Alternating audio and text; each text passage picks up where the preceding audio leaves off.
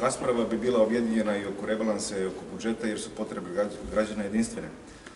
Mi smo najprije uputili kritike predsjednici Skupštine zašto evo već dve godine na dnevni red ne stavlja pitanje koje je određeno statutom grada, a to je izbor ombudsmana gradskog, znači zaštitnika prava građana. U statutu grada piše da je to neophodno, a evo i u ovom budžetu novca za to nema. Takođe, u budžetu nema novca za implementaciju lokalnog akcijnog plana za borbu protiv korupcije.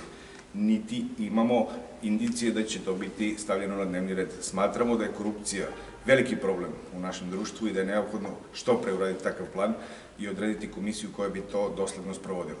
Naravno sa ciljem prevencije korupcije. Grupa građana Najbolji za Pirot dala i dosta primetbi vezanih za zdravstvo. Dakle, imali smo veliki broj primetbi građana i oko primarne zdravstvene zaštite u selima, oko seoskih ambulanti, nedovoljne posete lekara ljudima na selu i imali smo primetbe na mali broj pedijatara ovaj, koji su radili u Domu zdravlja u smenama, gde su ljudi imali, pogotovo sada oko sezonskih ovaj, infekcija, velike probleme da dođu na red.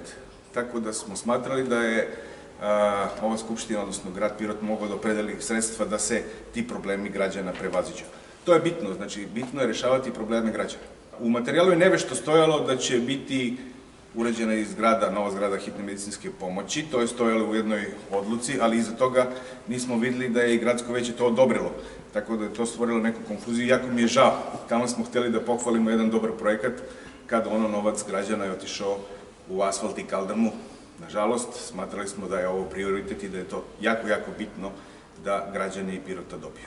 E, osvrnuo bi se i oko medija, dakle, e, mediji moraju da dobiju novac koji im po zakonu pripada, to je jasno određeno, ali pozivam i vas, predstavniki medija, da kroz projekte koje kandidujete, odnosno delegirate ka komisiji e, koja će, jel te, određivati kako se troši novac građana za potrebe medija, uvrstite i neke otvorene debate, prostor za otvorene debate između svih ovaj, političkih subjekata u ovoj Skupštini.